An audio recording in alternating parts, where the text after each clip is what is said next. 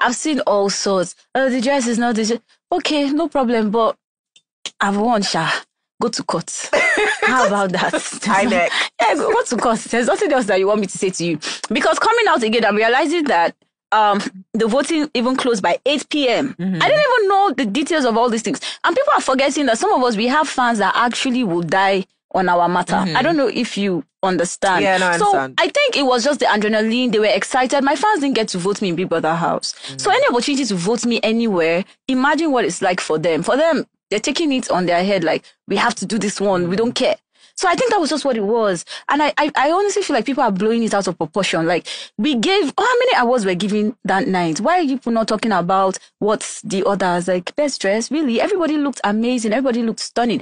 Personally, I kept giving people compliments that day. I'm like, oh, you look nice. Yeah. I was throwing compliments left, right, center. So No, for me, it's like, it's not so much of a big No, I deal. totally understand. But let's let's close this case. But wait, wait. Can I just ask you how, how much did your dress cost? Um, honestly, I can't even disclose the figure. Hey, it's du- see, See? It's okay. Some people can't disclose the figure. Oh, interesting. I like. But like talking about the internet.